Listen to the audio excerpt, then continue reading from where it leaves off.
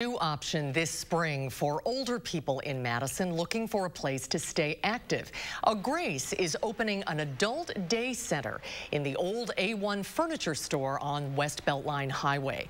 The center will be a place for older people who don't want to be alone all day. Representatives with the Grace hope to eventually serve more than 60 people a day.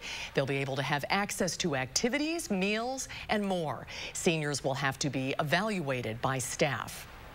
Most of the people that we will have will have a dementia diagnosis or some type of um, Alzheimer's, um, but we will take any elderly person.